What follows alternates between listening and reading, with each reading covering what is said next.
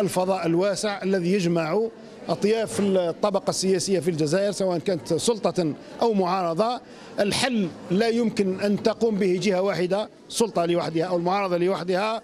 العاقل يقول أن المستقبل الذي يحفظ الجزائر آه، سياسيا واقتصاديا وامنيا واجتماعيا هو في لقاء أبناء الجزائر من كلتا من كلا الطرفين ولكن على أسس واضحة أساسها إعادة الشرعيه الشعبية الابتعاد عن الشرعيه الثورية التي انتهى وقتها الابتعاد عن شرعية التزوير. اليوم نحن في أمس الحاجة إلى الشرعية الشعبية وسيادة الشعب الجزائري في تحديد من آه، يقوده ومن يكون في المؤسسات التي آه، تقوده في الدولة الجزائرية.